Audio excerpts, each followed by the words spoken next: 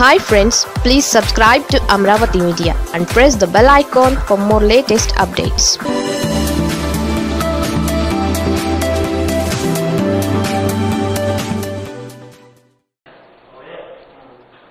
ఇప్పుడు బీజేపీ మొదటి నుంచి కూడా హిందుత్వ ఎజెండాతో పనిచేసేటువంటి పార్టీ. బీజేపీకి ఎక్కడ ఏ రకమైనటువంటి అవకాశం దొరికినా కూడా హిందుత్వ ఎజెండాని వాడుకోవాలి. అక్కడ ఉన్నటువంటి సమస్యని పరిష్కరించాలి.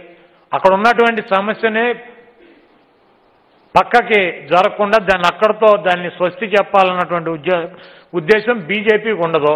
బీజేపీ ఎక్కడన్నా చిన్న సూది మనమోపేటువంటి బెద్దం ఎక్కడన్నా కనపడితే దాన్ని మొత్తం భారతదేశం అంతా దాంట్లోకి దూరిపోయేంత బెద్దం చేయాలన్నదే బీజేపీ ఆలోచన. బీజేపీ డెఫినెట్గా రామతీర్థమే కాదు ఏ రకమైనటువంటి అవకాశం దొరికినా కూడా ఆ హిందుత్వ ఎజెండాని బుధానేసుకుని హిందువుల ఓట్లు నాలుగు సంపాదించాలని చెప్పి వాళ్ళు ప్రయత్నం చేస్తారు. ఈ రాష్ట్ర ప్రజలకు అన్నీ తెలుసు. బీజేపీ ఆటలు ఈ రాష్ట్రంలో సాగవు. బీజేపీని నమ్మేటువంటి పరిస్థితి ఈ రాష్ట్రంలో లేదు. బీజేపీ యూపీలో రథయాత్ర చేసింది. ఎప్పుడు చేసిందమ్మా? తొంభై ఒకటిలో చేసింది. బీజేపీ యూపీలో అధికారంలోకి ఎప్పుడు వచ్చింది? రెండు వేల పదిహేడులో వచ్చింది. అంటే ఎన్నేళ్ళకి వచ్చింది? ఇరవై ఆరు ఏళ్ళకి పట్టింది. ఇప్పుడు సోమవీర్రాజు గారు ఇప్పుడు రథయాత్ర మొదలు పెడితే ముప్పై ఏళ్ళకి అధికారంలోకి వస్తే ఏంది రాకపోతే ఏంటి? దాని గురించి పెద్ద పట్టించుకోవడం అవసరం లేదు.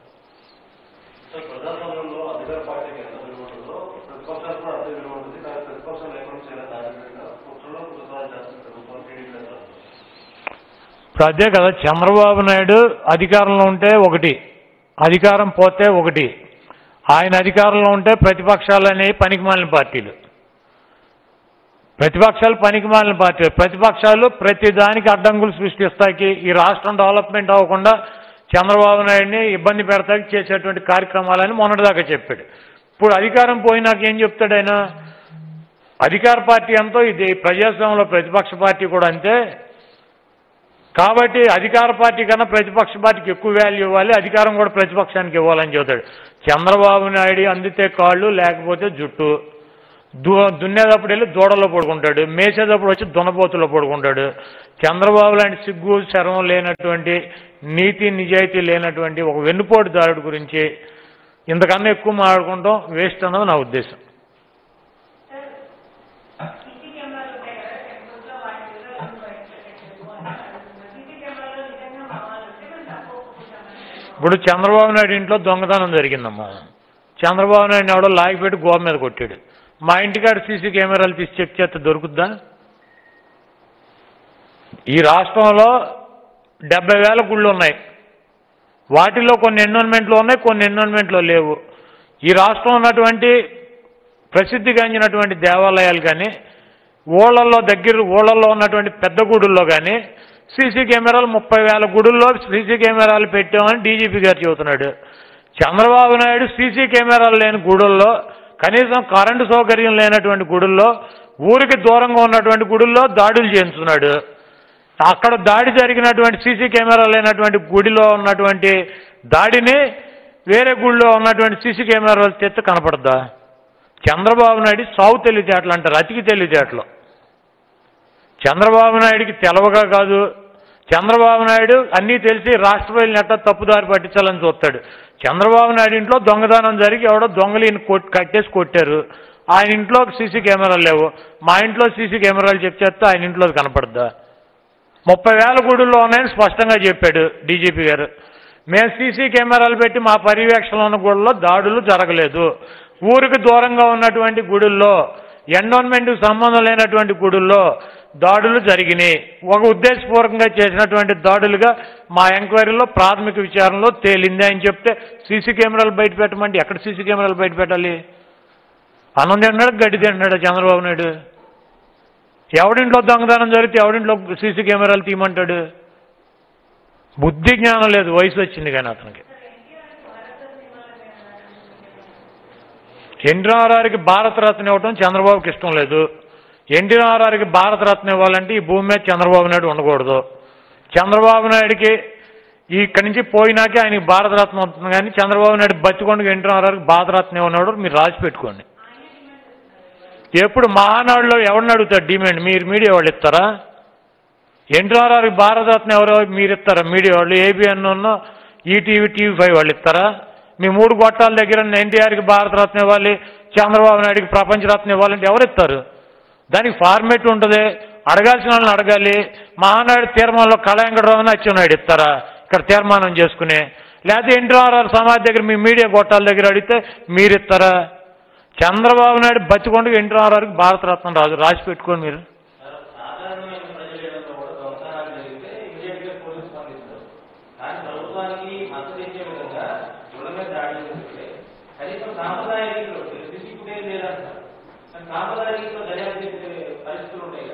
నాన్న మీది ఏ టీవీ? ఏ టీవీ? మీ మహా టీవీకి మహా క్వశ్చన్ ఒకటి వచ్చింది ఎవరికి రాంది? ఉద్దేశపూర్వకంగా నువ్వు దొంగతనం చేస్తావా? అవసరం కోసం నువ్వు దొంగతనం చేస్తావా? నువ్వు దొంగవైతే నువ్వు దొంగతనం నీ నీ నీ వృత్తిగానో లేకపోతే నీ అవసరం కోసం దొంగతనం చేస్తావు. నువ్వు డెఫినెట్గా దొరుకుతావు. నేను ఒక మాస్టర్ ప్లాన్ వేసుకుని నేను వంశీ కలిసి దొంగతనం చేయాలని చెప్పి పది రోజులు ప్లాన్ వేసుకుని మేమిద్దరం దొంగతనం చేస్తే మేమేట దొరుకుతాం? ఇది ఉద్దేశపరంగా జ- ఉద్దేశపూర్వకంగా మూడు వందల ఒక కింద రామతీర్థం గుడి కింద ఉంది. దానికి లైటింగ్ ఉంది సీసీ కెమెరాలు ఉన్నాయి. ఆ గుడి జోలికి వెళ్ళా పైన మూడు వందల మెట్లెక్కి కనీసం కరెంటు లైన్ కూడా లేదు. సీసీ కెమెరాల సంగతి తర్వాత కరెంటు లైన్ కూడా లేదు. అది పురాతనమైన గుడి. సాయంత్రం ఐదు గంటల పూజారి గుడి తాళం వేసుకుని వచ్చేస్తే మళ్ళీ పొద్దున్న ఆరింటికే గుడి మీదకి వెళ్తారు. ఆ పురాతనమైనటువంటి గుడిలో వస్తువులు ఏమీ లేవు ఎత్తుకుపోటాకి వచ్చి రాముడి విగ్రహాన్ని ధ్వంసం చేస్తారని ఎవరన్నా భావిస్తారా? ఎవరు చేస్తారు? ఆ గుడి గురించి ఎవరికి తెలుసు? ఆ గుడికి ట్రస్ట్ చైర్మన్ ఎవరు? ఆ గుడి ఎవరి ఆధీనంలో ఉంది? అసలు అక్కడ ఒక మారుమూల గృహ గుడి ఉందని చెప్పి ఆ గుడిలో పైన అయితే ఎవరు ఉండరని చెప్పి దానికి కాపలా కూడా ఉండదని చెప్పి మనుషులు నడిచెళ్ళొచ్చు లేకపోతే సైకిల్ కూడా వెళ్ళదు. ఈ గుడిలో అయితే కనుక సేఫ్గా విగ్రహం పగలు కొట్టచ్చు అని చెప్పి నాకు జగన్మోహన్ రెడ్డి గారికి బొత్స సత్యనారాయణ గారికి తెలుసా? చంద్రబాబు నాయుడు గారికి తెలుస్తుంది అశోక్ గజపతి రాజుకు తెలుస్తుంది. ఎందుకు సెలెక్ట్ చేసుకున్నారు అటువంటి గుళ్ళు?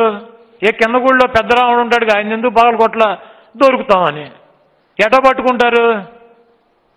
ఉద్దేశపూర్వకంగా చేసేది వేరు యాక్సిడెంట్లుగానో లేకపోతే వృత్తిరీత్యానో చేసేది వేరు. దొంగతనం అనేది ఒకటి కిటికీ సువ్వలో ఉంచుతాడు. ఆ కిటికీ సువ్వలో ఉంచితే ఇది మహాటీవీ వాడు చేశాడు ఇది నాని చేశాడు ఇది వంశీ చేశాడు అని చెప్పొచ్చు. ఒకడు తలుపు పీకేస్తాడు పీకితే వంశీ పీకినట్టు.